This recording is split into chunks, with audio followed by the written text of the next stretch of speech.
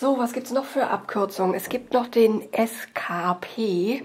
SKP heißt Slip the first stitch, knit the next two stitches together, pass the slipped stitch over.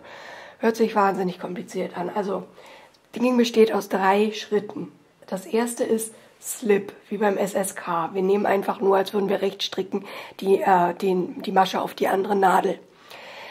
Zweiter Schritt ist, äh, die nächsten beiden Maschen zusammenzustricken. Das ist ein äh, Knit 2 Tock, also K2 Tock, Knit two together. Das hatten wir auch schon vorher. Dann stricken wir die zusammen. Und P heißt nur Pass Over.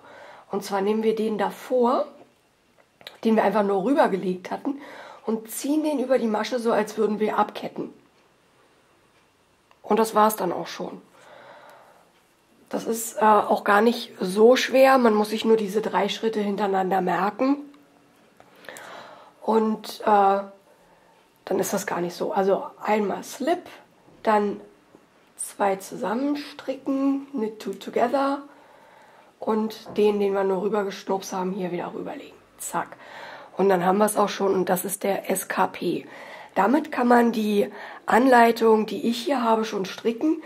Ähm, was noch ähm, was noch ganz oft passiert, ist dieses, ähm, diese Abkürzung Place Marker und Slip Marker. Damit ist einfach nur ein Maschenmarkierer gemeint, so wie der hier zum Beispiel oder wie der hier. Die gibt es ja in, in, unterschiedlichen Ausführungen.